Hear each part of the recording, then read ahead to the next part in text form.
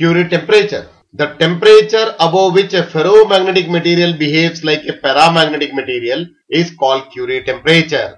The temperature above which a ferromagnetic material behaves like a paramagnetic material is defined as Curie temperature Tc or the minimum temperature at which a ferromagnetic substance is converted to a paramagnetic substance is defined as Curie's temperature or the minimum temperature at which a ferromagnetic substance is converted into paramagnetic substance is defined as Curie temperature.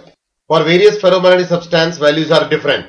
For nickel it is around 358 degrees centigrade. For iron it's around 770 degrees centigrade. For CO it is around 1120 degrees centigrade. At these temperatures, the ferromagnetism of substance suddenly vanishes.